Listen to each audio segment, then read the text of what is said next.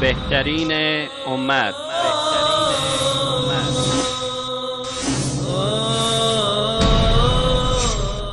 پیامبر صادق و مصدوق صلی الله علیه و آله و سلم درباره نیکی و بزرگواری آن نسلی که همنشین و همدم ایشان بودند سخن می‌گویند و آنها را به بهترین کلمات می ستایند چرا چنین نباشد؟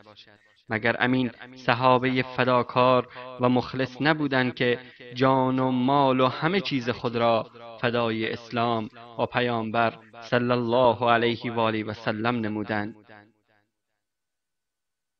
در بخاری و مسلم از عبدالله ابن مسعود رضی الله تعالی عنه روایت است که از پیامبر صلی الله علیه و آله و سلم سوال شد بهترین مردم چه کسانی هستند؟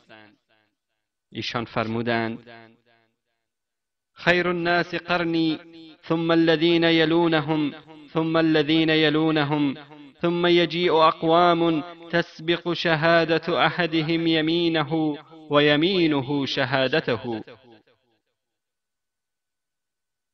بهترین مردم کسانی هستند که در عهد و زمان من به سر می‌برند و سپس کسانی که بعد از آنها میآیند و سپس کسانی که پس از آنها میآیند.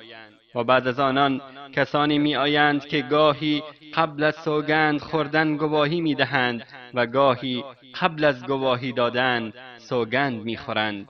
یعنی تقوا ندارند و به راحتی گواهی می‌دهند و سوگند می‌خورند.